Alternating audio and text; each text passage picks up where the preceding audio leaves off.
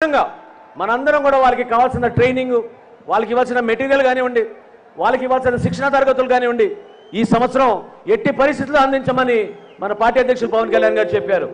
ఖచ్చితంగా ప్రతి జిల్లాలో మన క్రియాశీలక సభ్యుల కోసం ప్రత్యేకంగా మీకు శిక్షణ తరగతులు ఏర్పాటు చేస్తున్నాం.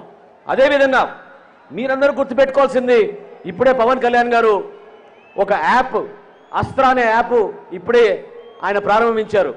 ఇది వాట్సాప్ లాంటిది మన పార్టీలో. మీరందరూ కూడా ప్రతిరోజు మీరు దాంట్లో కొన్ని ముఖ్యమైనవి ఫోటోలు కానివ్వండి సంఘటనలు కానివ్వండి విషయాలు కానివ్వండి మీరు దాంట్లో పాలు పంచుకోవచ్చు షేర్ చేసుకోవచ్చు. ఆ యాప్ ద్వారా మన పార్టీ అధ్యక్షులు గారు కూడా చూస్తారు. జిల్లాలో ఉన్న నాయకులు చూస్తారు. రాష్ట్ర వ్యాప్తంలో ఉన్న ప్రతి నాయకుడు చూస్తాడు. ఏ విధంగా తక్షణమే మన సహాయం అందించవచ్చు ఏ విధంగా మనం ముందుకెళ్ళొచ్చు అనే దానిపైన నిలబడతారు. దానికోసం మనకు ఎక్కడ కూడా కమ్యూనికేషన్ గ్యాప్ ఉండకూడదు. ప్రతి జన సైనికుడు మన కుటుంబంలో భాగస్వాములు అవ్వాలనే ఉద్దేశంతో ఈ విధంగా మనం ప్రయాణం చేశాం. ఎక్కువ మంది యువత ఉన్నారు ఈ రోజున మన సమావేశానికి. ఉదయం నుంచి చూస్తూనే ఉన్నాం అన్ని జిల్లాల నుంచి వివిధ ప్రాంతాల నుంచి ఇతర రాష్ట్రాల నుంచి కూడా చాలా మంది యువత వచ్చారు. మీరందరూ గుర్తుపెట్టుకోవాలి. ఒక్క ఉద్యోగం ఆయన ఇచ్చాడు జగన్మోహన్ రెడ్డి గారు చెప్పండి. ఒక్క ఉద్యోగం మూడు సంవత్సరాల్లో మన రాష్ట్రంలో ఎక్కడైనా ఒక ఉద్యోగం వచ్చిందో చెప్పండి.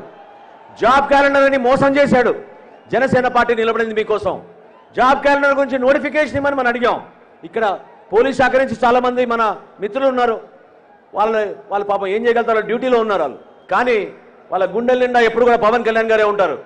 ఎందుకంటే పవన్ కళ్యాణ్ గారు పోలీస్ శాఖ గురించి పోలీస్ అధికారుల గురించి వాళ్ళ సంక్షేమం గురించి ఎప్పుడు కూడా ఆలోచించే వ్యక్తి. చాలా సందర్భాల్లో మా మీటింగ్లో పవన్ కళ్యాణ్ గారు ఇదే అంటారు. ఏమని? రాజులు ఎట్లా పరిపాలిస్తున్నప్పుడు పాపం వాళ్ళు ఏం చేయగలుగుతారు?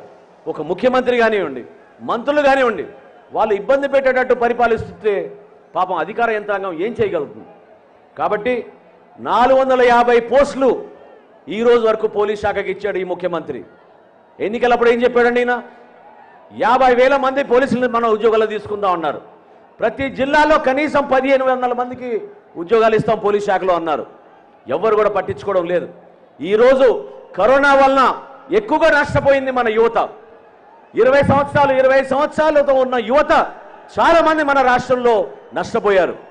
ఉద్యోగాలు లేవు ప్రభుత్వ సంస్థలు ఎవరు ఆదుకోవడం లేదు బ్యాంకుల్లోకి వెళ్తే ఎవరు కూడా వాళ్ళకి నిధులు ఇవ్వడం లేదు కార్యక్రమాలు చేసుకోలేకపోతున్నారు. భవన నిర్మాణ కార్మికులు మీ అందరికీ తెలుసు ఎన్నికలైన తర్వాత మొట్టమొదటి కార్యక్రమం చేసింది భవన నిర్మాణ కార్మికుల గురించి.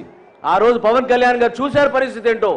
భీమవరానికి మేము వెళ్ళినప్పుడు దారి పొడుగున భవన నిర్మాణ కార్మికులు ఆపి అయ్యా దయచేసి మా గురించి పట్టించుకోండి.